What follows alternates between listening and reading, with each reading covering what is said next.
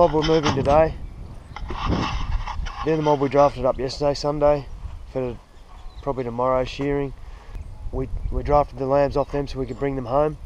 We'll shear these ewes and then uh, take them back after they've shorn just back to their lambs. They're uh, it's about 10k away from our shearing shed, so we've had to draft them off, leave the lambs behind in the yards. We'll process them over there, click them, walk these home. It's 10k from one from that property back to this property. I got them 5k last night, locked them in a set of yards at my house, and bring them the extra 5k this morning. Uh, we're about five days into shearing, and my dogs are all getting a bit worn out. They're getting very footsore. Uh, lost a dog yesterday, not lost a dog, but one of the dogs in the yards, cub, got crook for something, so we had to take him to the vet last night. So we'll see how he is this morning. I'm not too sure. Hopefully he's fine. But these dogs, all work and road work that we do, as you can see, these roads, pretty hard on their feet. They get pretty lame. A couple of sheep on the back, a little bit sick. One's sick, one's a bit lame. Coco, the little Jack Russell, she's just keeping an eye on for me. We've got uh, Chook there, young dog. Chook young. Chook is my one of my pups coming through. And that snake, he's an old dog. He and Coco getting a bit old, getting a bit worn out. Got to bring some young ones through. I just better explain because we were a bit busy on Saturday, I couldn't really talk to the camera.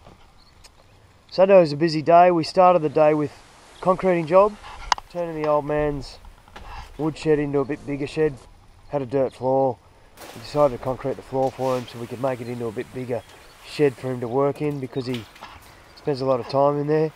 He's a farmer stuck in a, sorry, he's a builder stuck in a farmer's body, as we like to tease him about. Anyway, did that Saturday morning, had a bit of leftover concrete, so we bored very quickly while in between trucks. We bored a couple of post holes to put the rest of the concrete in that was left over. We did, I think we did five holes, five holes, two gateways, three gateways actually. Uh, and then we put a little bit of concrete in a trench beside the house to sort of make a, a garden bed for the cottage. After that, uh, we loaded a bit of wool onto a truck. We sort of have our, our wool storage area was a bit full, so we loaded that on. Got rid of 50 bales or so just to make room for the rest.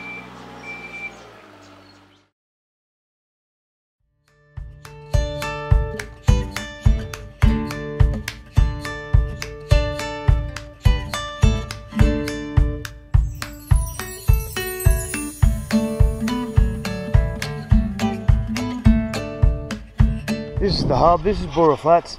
This is the middle of our farms. I think we've got six farms. Six farms with about a 15k spread from one end to the other.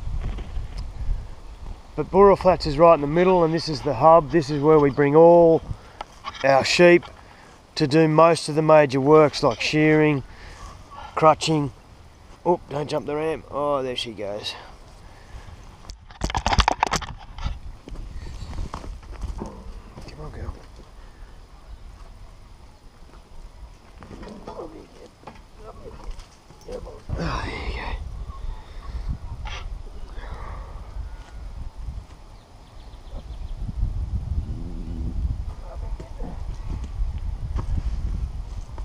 Leave her there.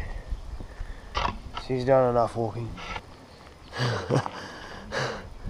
the dogs know they've got them back. They're having a little rest. They're ready to go for a bit later. I got another 300 metres and they'll be up, up in the sheep yards ready to go into the shed for shearing probably tomorrow. Morning all.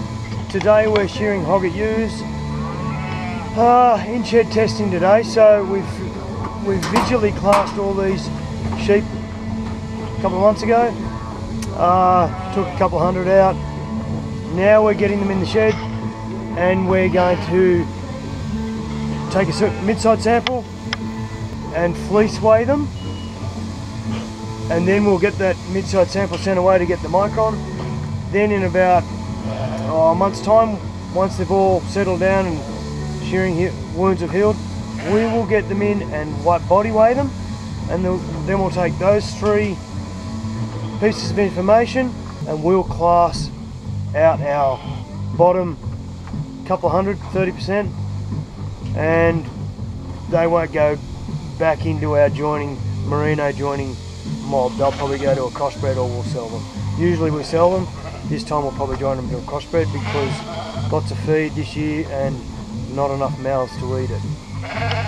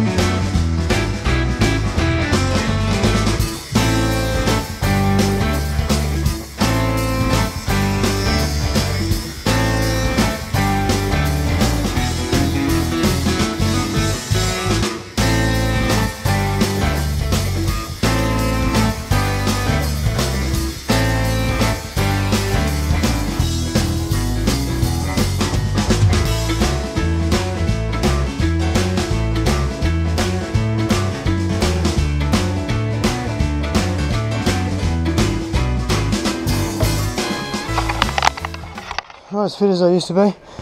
But I'll show you explain what's going on here. That's the property name of our property. The where the wool's been shorn Boorowa Flats. Kangaroos just to represent it's Australian. That's the classes stencil registered classing stencil. Again Australian. 4am is the line. Greasy wool that's the AW AWI's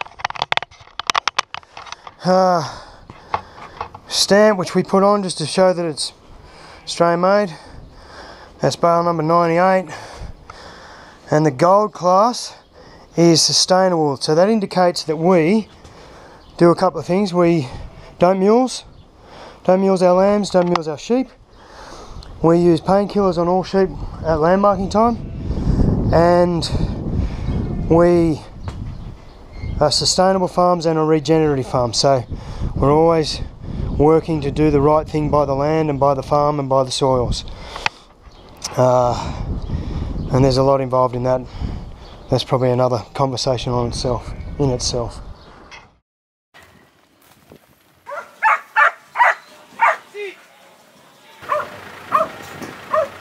What we're going to do here is sheep have been shorn, Scotty Niles team shorn them, we're bringing them out, we're going to jet them with Cooper's blowfly lice.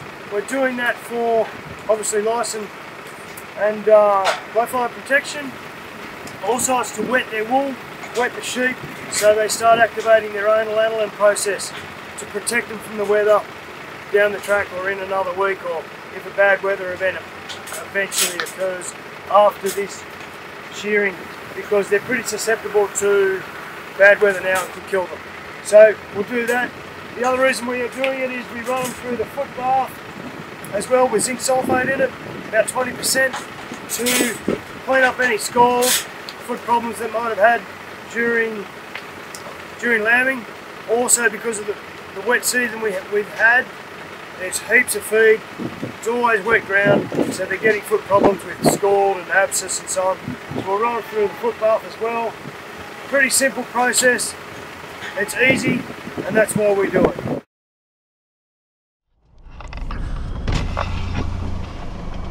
We're home. This is where I live.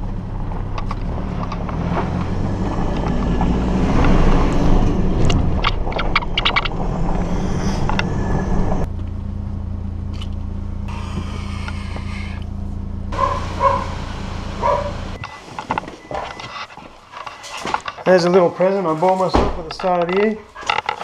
We'll pull that out one day, that can be another vlog. Dogs are happy. They've done nothing all day. They haven't worked at all today.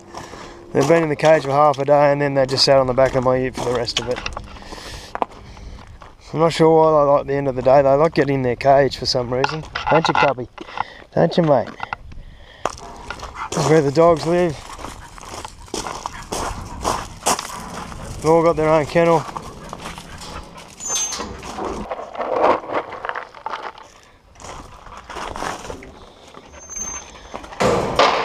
He gets a full full cup because he's just young, he's still growing. These other two fatties only get half a cup because they haven't been working. When they're not working, they just get fat. I only give them a full cup if they're working hard. Especially Chubb. This is Chubb. He gets so, so fat so quickly. Good boy. Snake, snake, snake, snake. Good boy. Hiccup. Good boy. These are guinea fowl. I think they're a native South African bird. They like to be fed too. I give them a few dog biscuits every now and again. Whenever they come out for them.